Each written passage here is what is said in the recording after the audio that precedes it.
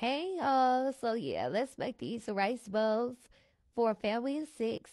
Okay, so first you go turn the rice on, the water on, and put the rice in there.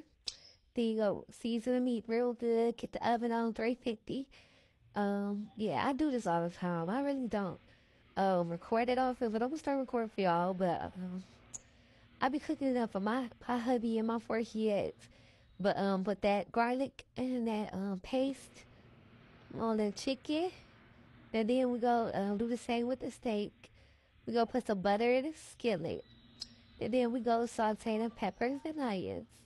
Um, on low heat till you're like it. And then we go chop up the steak and chicken. Yeah, they was up there. My kids was around. We go cut up the ch- steak and chicken. And my husband, he made some, what's it called, man? Gravy. Oh, it was real good, y'all. So, uh, it only take about 40 minutes to make. Uh, cook the chicken, cook the steak to your own liking. I like boss well done. But, uh, yeah. Anyways, happy New Year. This is New Year's. Uh, I hope everybody had a good 2024 coming in. Uh, they ate good. They had good wine and good champagne. And, uh, everybody did their thing. Uh, I most definitely had a good time with my family. Chicken and steak bowls. We watched movies. Uh, everything was a ball.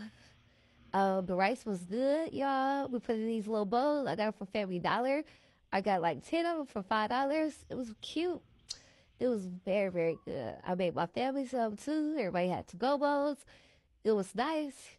Um, happy holidays. I watched the movie on my Apple computer. I had me a shot. I ate my food. It was good, y'all. Peace. Yep.